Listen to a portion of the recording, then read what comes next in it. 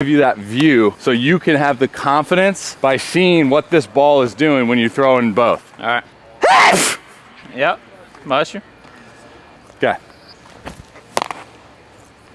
Hey, just because you're in front of the camera now doesn't mean you got to go freaking 107. All right, turn it down, freaking Napoleon.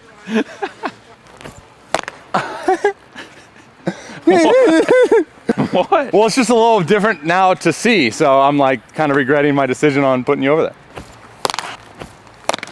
Thank you, cloud coverage.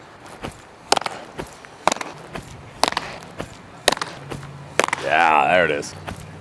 It's so much on the fingers, man. What do you mean? Pointer finger, middle finger.